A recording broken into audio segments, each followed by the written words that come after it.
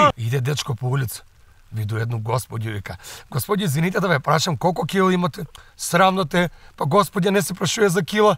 А добро, извините, колку грама имаш?